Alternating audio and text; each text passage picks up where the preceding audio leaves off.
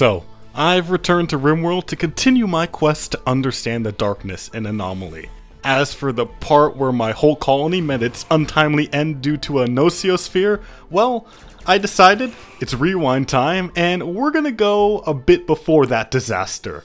So yeah, this is a continuation of this video, so watch this video first if you want to, but here's a quick summary. A scientist named Richards crash landed on RimWorld while trying to research an ancient monolith. From there, he leads a small colony of the finest minds on this planet against dangerous foes to unlock the secrets of this monolith, no matter how much it tries to fight us. It's good to be back with the knowledge after 300 hours of playing that you can just release arrested colonists to come back to your colony instead of having to re-recruit them. Also, I fixed my ghouls not having a melee stat, so they actually know how to fight instead of just wailing at the air hoping for the best. I still need to get rid of this nociosphere because it was destabilizing soon, but I'm gonna be real, that word nearby is doing a lot of heavy lifting because I sent this thing across to the opposite side of the map and it still winds up in my base. Once again, I tried to deploy that thing, and instead of going straight for me, it went right.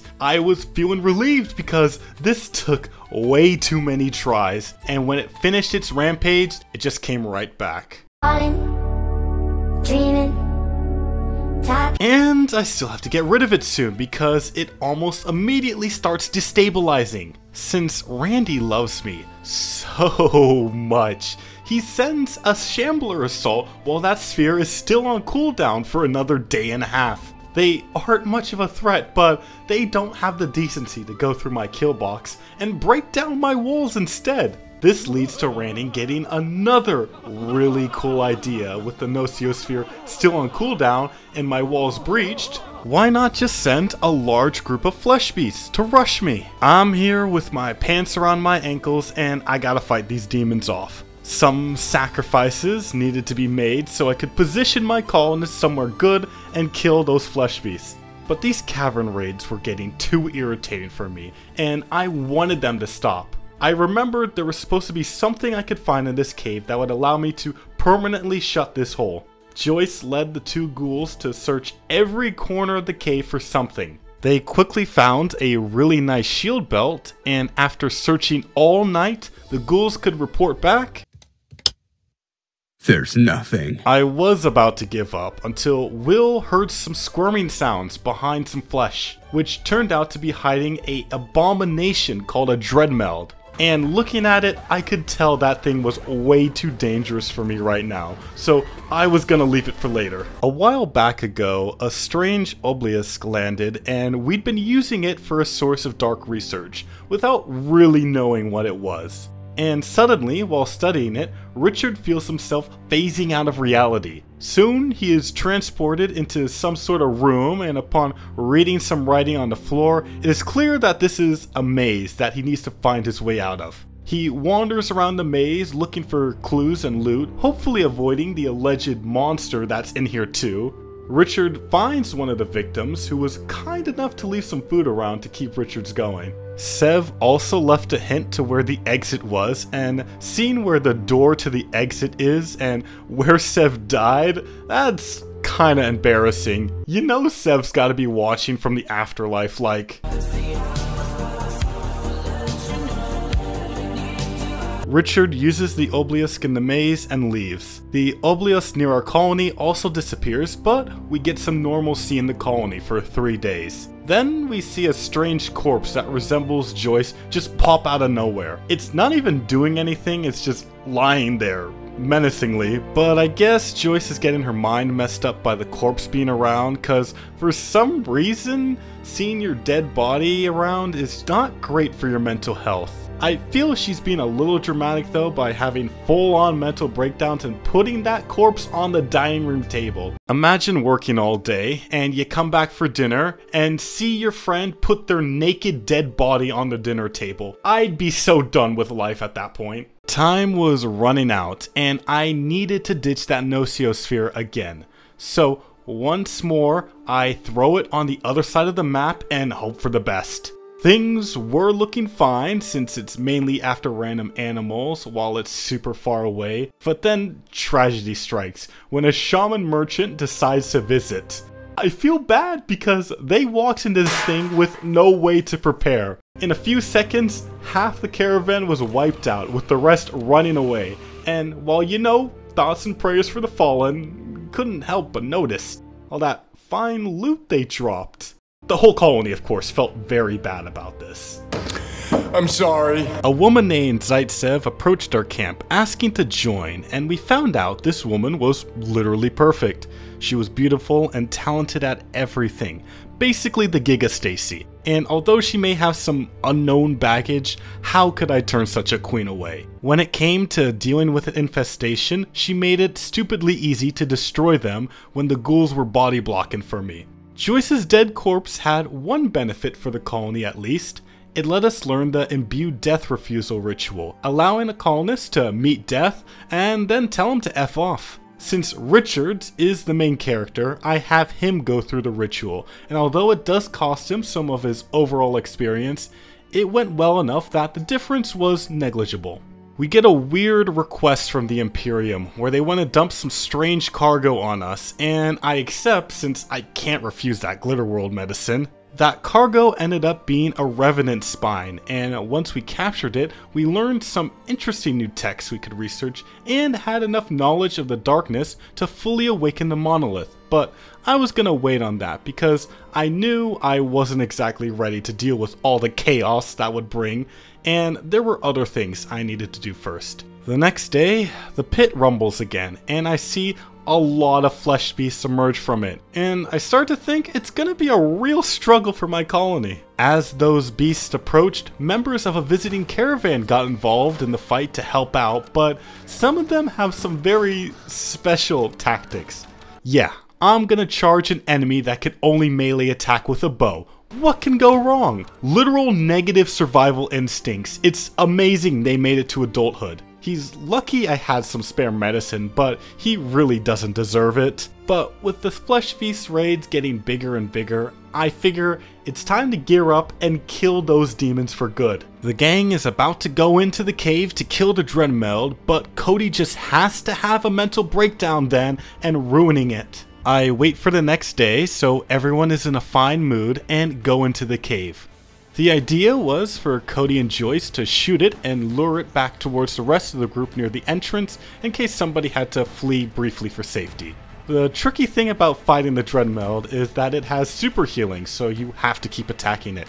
And when you damage it enough, it will fling more flesh beasts at you. So this fight requires a lot of precise micro of your colonists. We do manage to kill the Dreadmeld, destabilizing the cave, but also causing it to spew a bunch more flesh beasts on top of us that I can't fight. So I just tell everyone to get out of the cave. It really sucks to leave those shards behind, but I was not beating all of this. My two good doctors are struggling to come back. I had to crutch on Tweak's magic healing powers for Joyce, and while it worked to heal her, she got a bit extra with a new tentacle on her body. As the colonists rush to get Zaitsev and Richards back home, the Undercave is completely collapsing, and now we will never hear anything from this pit again. After accomplishing such a daring mission, I have Richards give a speech to motivate the colony, and after an hour of talking, he only motivates them to want to go to bed. It was so bad that he gave himself and two other people gut worms. When springtime arrived, we ran out of food. Well, decent food. I didn't want the colonists to eat twisted meat, since they get really upset about that. So I did a ritual to draw animals. I ended up drawing more than animals, though. Some cultists came over to start a hate chant and drive us insane. Now, I don't want the colonists to go through this for too long, so I have to move fast to silence them. I had to prioritize hunting the mega sloths first. I set up a big hunting party, and I'm able to kill most of the mega sloths, setting me up with enough meat until my crops grow. Everyone is on edge after that hunt due to the hate chanting, so I get all hands on deck to go after the cultist. Zaitsev is a talented shot with her bolt action rifle and takes two of them out, causing them to cancel the chant and attack us directly. But the damage was already done. The cultist broke Zaitsev, and she felt the urge to liberate one of our captured entities. So while everyone else is in a fight for their lives to stop the cultist, Zaitsev makes the smartest decision in her life to release the Revenant. And when I see that thing go invisible and open my doors, I'm just like, welp, I'm screwed. We successfully held off the cultist, but I have no idea where that revenant thing is. The cultists were nice enough to drop some good guns for us at least, and give us another promising candidate for ghoulification. But suddenly, the Revenant appears and attacks one of our visitors. They try to fight it off, but fail, and the victim is caught in a hypnosis leaving them in a nearly vegetative state until the Revenant is killed. I had no clue where it went afterwards, and now we gotta be on extra alert because anywhere out here we can see this predator appear and send our minds into the sunken place. So, this was a great time for me to create another ghoul, and for marriage too, I guess. Cody had to get a ring on that tentacle before she got sent to the Shadow Realm. The Revenant is very patient and picks its next opportunity carefully. Seeing Tweak by herself outside the base, it rushes her down. There was barely any time for people to come to her help before Tweak was mind broken and it ran off happily, accomplishing its mission. Randy dropped the easiest psychic ship ever on me later because when I damaged it, there were no mechs inside. I still managed to have a friendly fire incident during its destruction, but that turned out to be a blessing because on his way back to get healed, Cody heard the Revenant. I assembled everyone for this great opportunity to reverse the roles. Once I found it, the colonists let loose on the demon, but despite the damage, it was able to make a getaway. The Revenant was clearly upset about getting jumped because the next night, as people were getting ready for bed, it emerged to attack us where we slept. At least in the center of our base, we could get everyone together to fight it off. But despite our combined efforts, it hypnotized Richards and was making a getaway. I remembered that for some reason, despite not being able to fight, Cameron carried one of my disruptor packs, so he threw a flare down. This stunned the beast long enough for the gang to rally again, but the Revenant still kept running. It even managed to go invisible again, but using the tracks it was leaving, I figured out where the thing might be hiding. Finally, the Revenant was killed. Tweak and Richards woke up from their sleep and I felt so happy and relieved. We are definitely not going to leave its spine around to risk it being released again, so I was going to implant it into Richard so he gets its invisibility powers. I've had my colony bordering an ancient danger the entire game, and with how far we've come, it's time to open up and see what's inside. Fortunately, it was just some mediocre mechs and small insects. I don't care about any of the people in the cryo chambers because our home is full, but they at least had a few things worth taking. I mean, these people are literally dying. What are they gonna do? Stop me? A weapons trader came by later, allowing us to buy even better weapons to prepare for this final challenge of the campaign. I felt like we were ready, so Richards walked towards the Void Monolith and awakened it, challenging the darkness to bring everything it has. Our land is blanketed in unnatural darkness, and two void structures appeared, challenging us to come over and activate them to progress to the next phase we'd only have to get through all the monsters they'd throw at us first. Everyone had to channel their inner Doomslayer and lock in to fight the first wave of demons that came at us. It finally dawned on me that having one of my main power sources so close to the kill zone was actually not a good idea. After a short rest, I gathered a party to awaken the first void structure. Although two metal horrors were guarding it, the ghoul trio was excellent bait while the people with guns actually killed them. Richards activated the first void structure, and this soon triggered a bunch of nearby entities to attack me. With most people over here, the main entrance was looking really bad. Poor defenseless Cameron probably looking at this like, Oh god!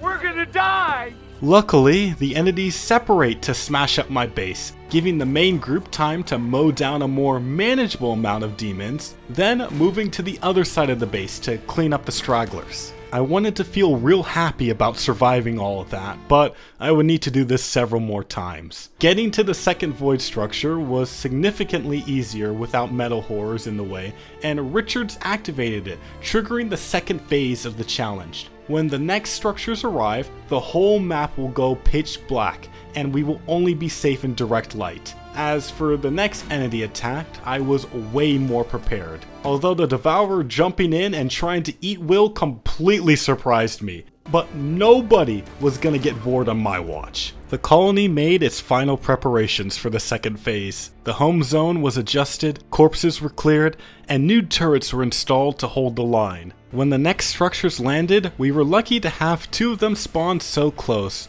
but one of them was right in the middle of my farms. My shiny new turrets didn't stand a chance against the metal horrors, and they did a number on my ghouls too. Activating the structure in my farm caused another Noctol rush, and it's starting to feel like World War Z with all the corpses I'm piling up here.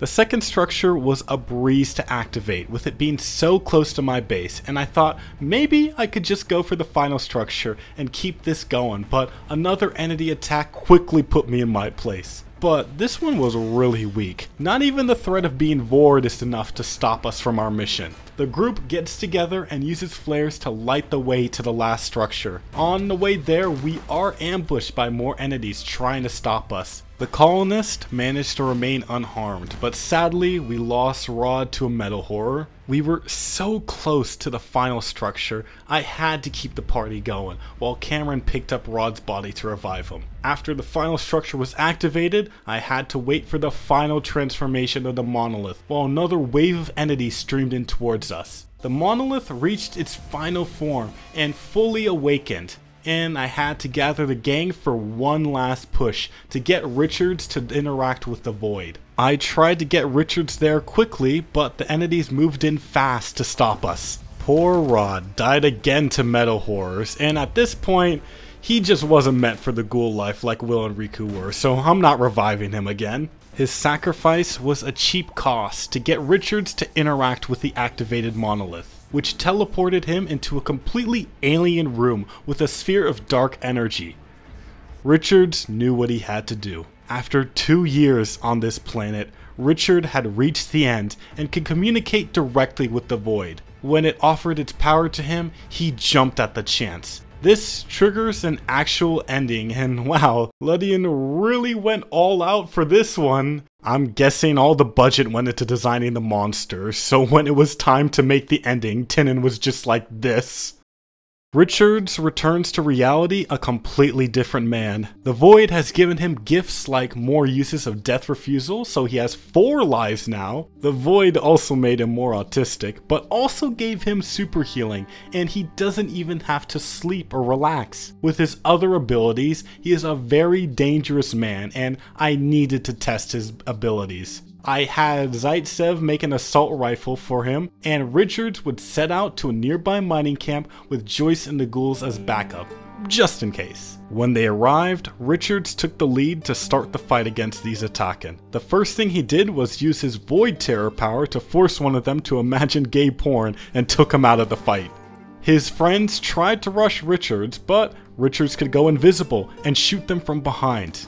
The Atakan were no problem for us to take care of, and as the last one in the camp tries to crawl for his life, he sees Richards approach him. In his last moment, the Atakan doesn't see a man anymore.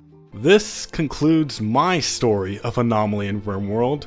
Richards and the colony went through a lot to get here, and I hope you guys enjoyed the story. If you've made it this far, you're obligated to leave a like, or Richards will come to your house and force you to imagine your grandma showering, so choose wisely. Also, much appreciation to my alumni and Patreon for generously funding my supernatural ambitions. Your support there really motivates me to make these quality videos for y'all. Anyways, I got plenty more RimWorld content for you guys to enjoy. Subscribe to see more good stuff in your feed, and I hope to see y'all again another day.